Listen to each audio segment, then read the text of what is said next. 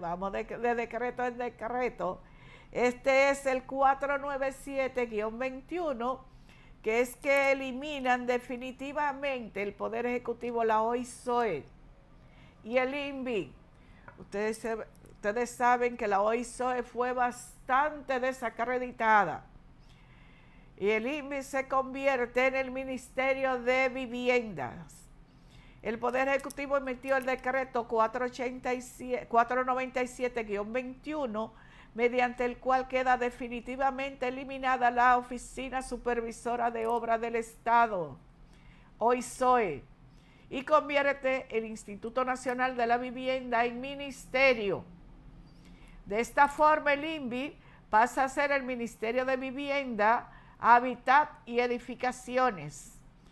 El decreto también designa al actual administración, administrador del INVI, el ingeniero Carlos Alberto Bonilla Sánchez como ministro de ese nuevo ministerio y a Juan Luis Julia Calaz como viceministro administrativo y financiero.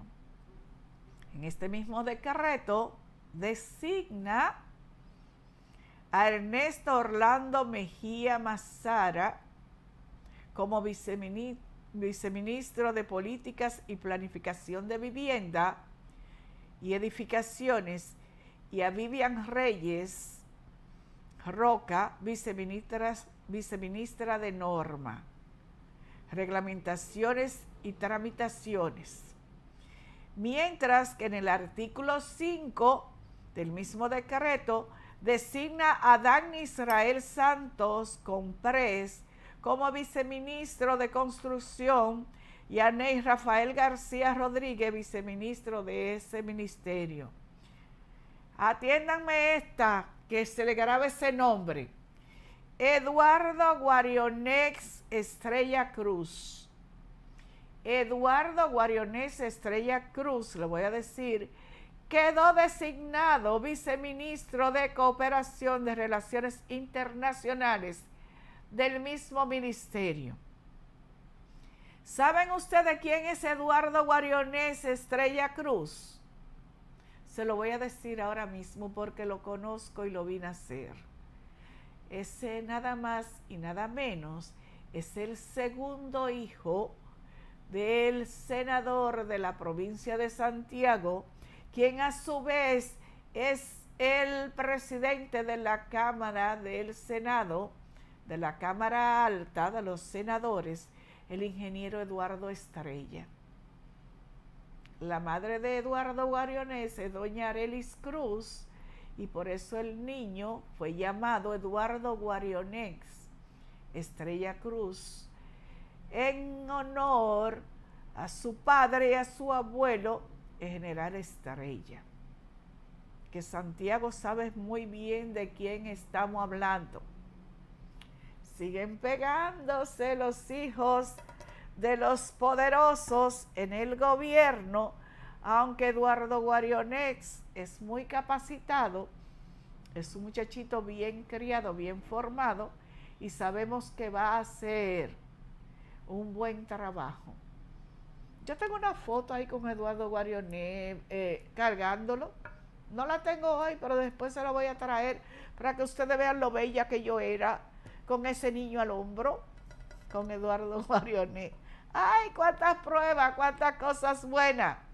Con la eliminación de la OISOE y la conversión en el Ministerio del INVI, el gobierno busca eficientizar la administración pública, eliminando instituciones innecesarias y aprovechando recursos humanos existentes. ¡Wow! Qué bueno.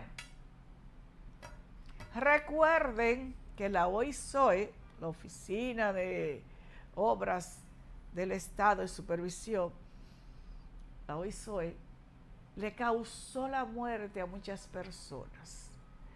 Recuerden ese ingeniero que estaba agobiado por las deudas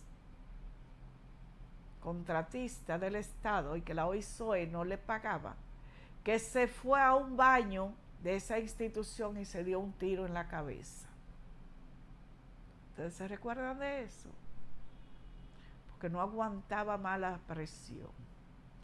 Le debía a las siete mil vírgenes y muchos más, que ustedes saben que causó mucho trauma. Fue creado eso en el gobierno de Balaguer, la OISOE, no fueron los PLDistas, pero se manejaba bien. La OISOE en el gobierno de Balaguer funcionaba como debía de ser y para lo que fue creada. Al presidente Balaguer, que en paz descanse, nadie le picaba adelante. Había que cantarle 21, como dicen, de ahí a ahí. Di que no veía, pero el hombre tenía tacto y tenía gente al lado, Luis Abinader, que eso es lo que yo quiero que tú hagas. que te daban la realidad, que le decían y que había que hacer las cosas correctamente.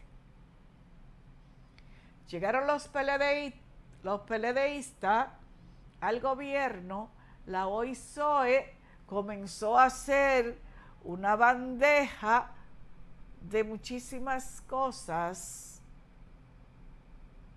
y por ahí se fue desvirtuando lo que fue la creación y para qué fue concebida la OISOE, causando mucho trauma, enriqueciendo mucha gente y muchos poderes para otros. Qué bien, Luis.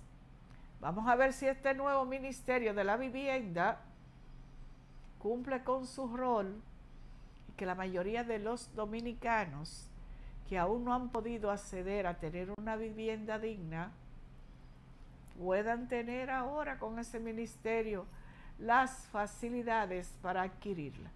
Son las siete